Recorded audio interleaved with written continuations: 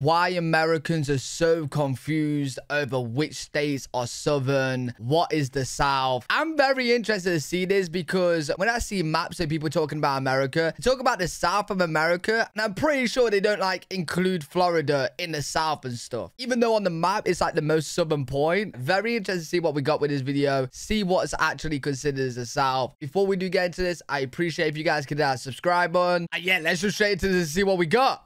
What is the South? Is Texas a part of the South? Okay. What about Florida? Right. Is the nation's capital city a part of the southern U.S.? If you ask five different people, then you'll probably get five different answers. Right. While the other major regions of the country are generally agreed upon, the South is seemingly in question to where its boundaries are. The U.S. Census Okay. Bureau has defined an exact area.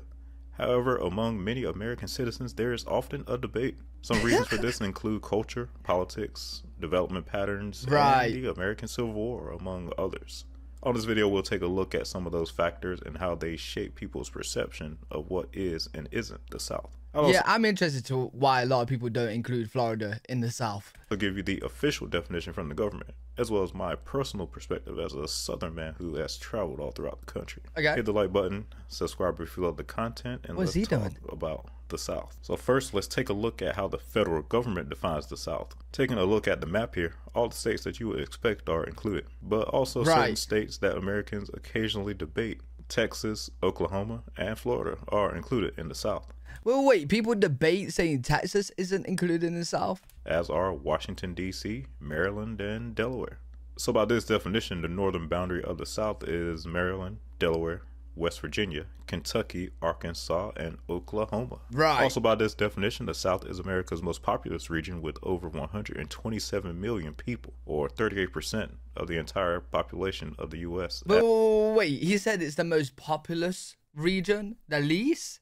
as of the 2020 census. It is also America's fastest growing region, as many Americans have fled the Northeast and the Midwest in recent decades in favor of the South. The five largest Okay. metro areas in the region in order are Dallas Fort Worth, Houston, Washington, D.C., Atlanta, and Miami. All Yo, people try to get that good weather, bro. But then again, you get good weather, you get good weather all here as well.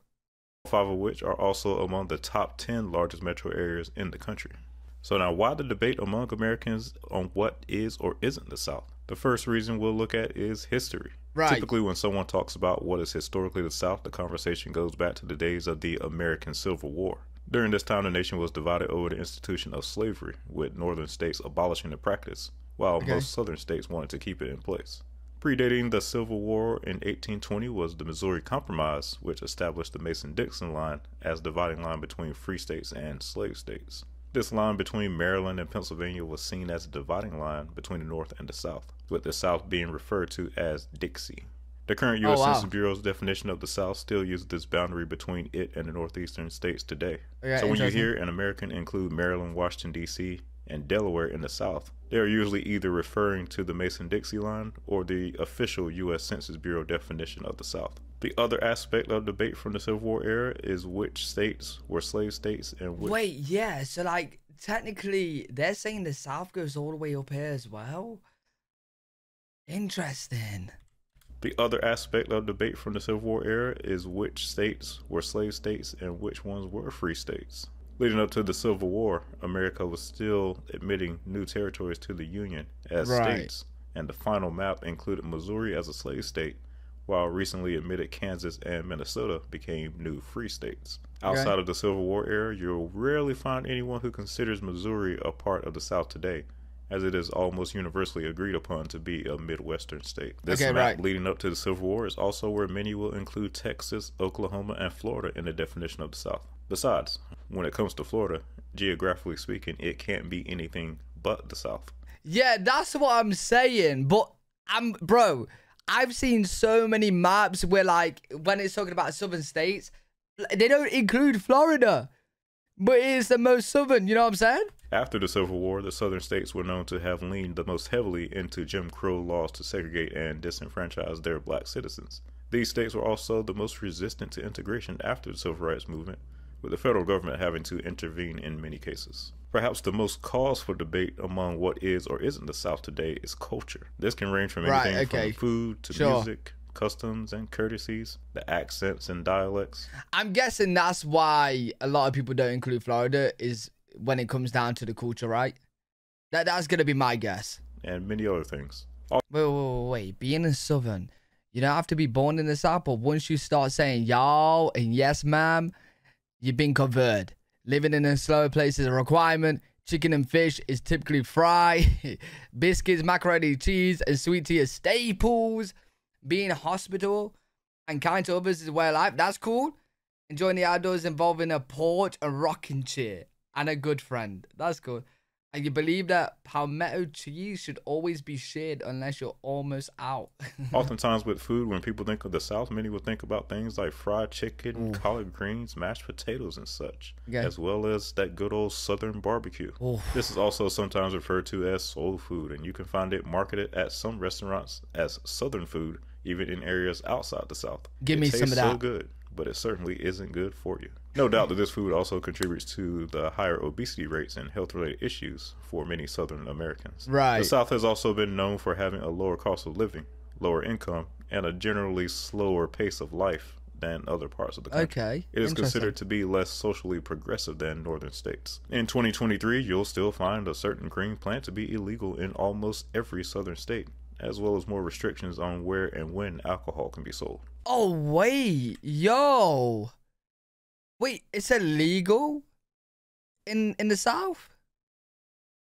Oh, I thought the majority of the Amer- uh, um, majority of America it was illegal. Most every southern state, as well as more restrictions on where and when alcohol can be sold. Racially speaking, the South is also known for having the largest concentration of black Americans. Okay. Despite the great migration of the early 20th century to northern areas for jobs, the vast majority of America's black population still lies in the southern U.S. states. Right. With places such as Atlanta and Washington, D.C. being considered meccas for professional black Americans. The southern United States is, for the most part, the only place where you'll find metro areas in which the black population is a very large percentage of the total population. In fact, the top 25 metros in terms of percentage black population all lie within the southern United States. Oh, wow. Appalachian culture is also associated with the South. Large amounts of immigrants know Wait, the what culture? 25 metros in terms of percentage black population all lie within the southern United States. Appalachian culture is also associated with the South. Okay. Large amounts of immigrants known as Scots Irish, along with many Germans, settled in the mountain regions of states such as Kentucky, North Carolina, Tennessee, and Virginia. These areas are more racially white than other parts of the South, with the population being as high as 80% white in some parts. Many people also associate Appalachian culture with mining, as this area historically produced over two thirds of America's coal output. Oh, Country and bluegrass music are known for being prominent in Appalachia. The other cultural thing you'll notice about the South is how dominant religion is in the area. When you come down here to the South, it is not uncommon to see churches seemingly on every other corner. Bro, three churches on the same road? Oh wow. I don't think I've ever seen that. in many cities. It has by far the highest church attendance rate of any region in the U.S., and this has led to the South also being known as the Bible Belt. These cultural reasons also are part of why certain states are now being debated as being Southern, as places such as Maryland, Wait, yeah, I, I already see. I look, look, look. Florida is like they're, they're like slipping from this part, from this uh, this stat right here. also a part of why certain states are now being debated as being Southern, as places such as Maryland and the Washington, D.C. metro have become more urbanized in recent years. Some Americans no longer consider them to be culturally Southern. Culturally, Okay. these places have begun to align more with the northeastern U.S. rather than what is traditionally considered the South. So you're telling me the the South has basically kicked out Florida and the bottom part of uh, Texas, and that's because I'm very surprised with Texas actually.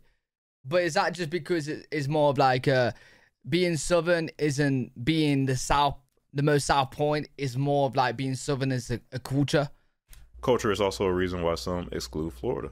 Those in the Florida Right. panhandle and northern Florida in general tend to be very culturally aligned with the rest of the South. Ironically, as you go further south in the state, the less southern some people consider Florida to be. Right. Central and southern Florida have attracted a very diverse population that is very different from the rest of the South. You'll find a very heavy Latin American influence in the Miami metro, along with a massive amount of transplants from the northeastern U.S. This is present along with a mix of the traditional white and black racial makeup that typically comprises the other southern states. In some parts of Miami, one might feel like they're in South America, rather than the southern United States of America. Culture also sometimes blurs the line with Texas and Oklahoma, along with their geography being more in a central section of the country. While eastern Texas is undoubtedly aligned with traditionally southern cultural states such as Louisiana and Arkansas, when one gets to the western side of the state, the culture is anything but traditionally southern. It is instead linked Yo, that's uh interesting to me because I've always thought Texas as being like just extremely southern,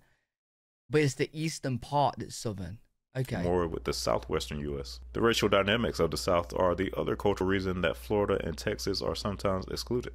The South has traditionally known to be, for the most part, a black and white region. But as Right. Hispanic immigrants have poured into Texas and Florida in modern times, the makeup of those states is now very different from the other southern states. San Antonio, in particular, is now the only major metro in America where the majority of the population is Hispanic. Hispanic immigrants are growing in population in other southern states as well, but the rest of the South is still Wait, is that because a lot of people are going from Mexico to Texas? Is that why that is? Hispanic immigrants are growing in population in other southern states as well, but the rest of the South is still dominated by the white and black population mixture. Okay. The next reason is one of the more contentious ones, and that is politics. Now, I don't dabble too much into politics on this channel, but they certainly play a role in geography and undoubtedly play a huge role in Wait, what's this? Why politicians don't build transit because you don't vote? Um, ninety percent voting. Age citizens in Houston live in vote. Okay, what's this? In Houston, forty-two percent of of registered voters over the age of sixty-five voted. As compared to six point six of registered voters aged to eighteen. So the older. Oh wow, is that low? Six percent of people ages 18 to 34 only voted? 6%? Oh, wow. infrastructure. The South and the North have historically been divided politically in the U.S., all the way back to the 19th century and the American Civil War. In modern times, many Americans tend to associate blue or liberal leaning states with the North and red or conservative leaning states with the South. Okay. This used to typically fit right in line with what the federal government considers the South. However, as many transplants from the North have relocated to southern states, and the South has become more urbanized, the political lines have blurred. States Right. such as Maryland and Delaware have become reliably blue, while Yeah, I'm not gonna lie. From these maps right here, you can't really tell. Like, th- th- there's not like a separate. There's not like a, a split between the southern states and the rest of America.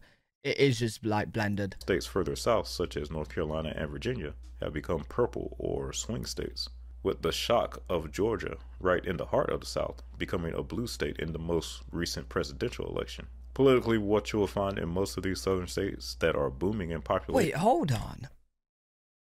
You know how obviously Biden beat Trump, but on this map it looks like Trump wins.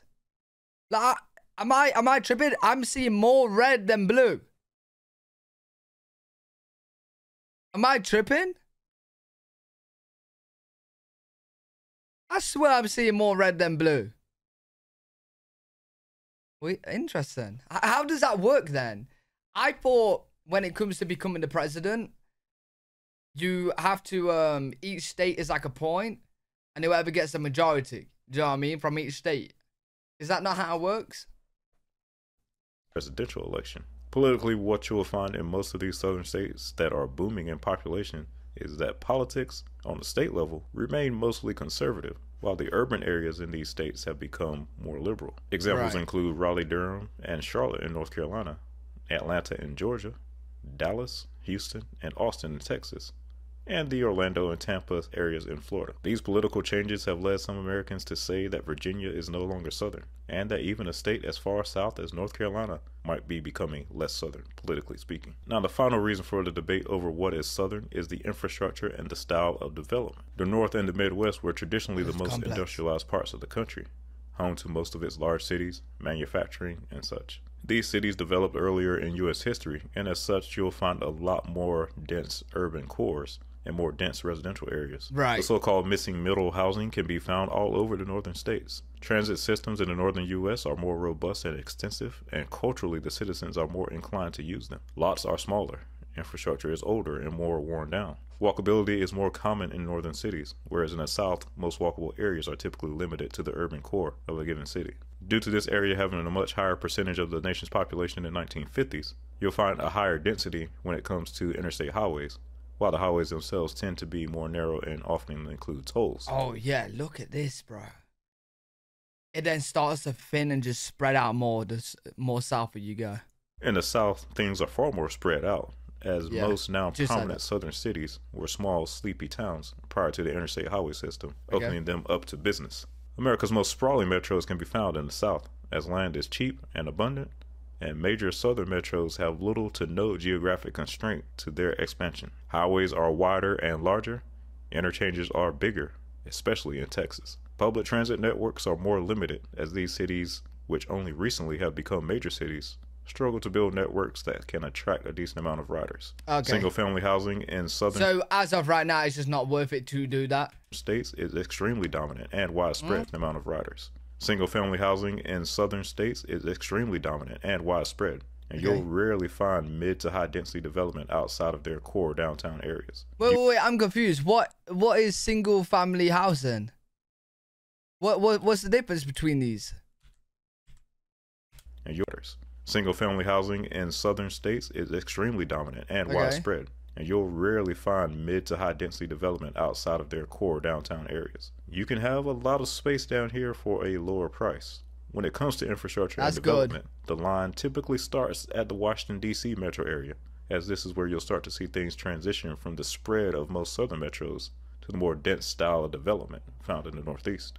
Row houses, missing middle housing, and other types of mid density development start to appear in the DC, Delaware, and Maryland areas. Single family housing and sprawling suburbs are certainly still present, but no Yeah, I don't know what single family housing means. Single family housing?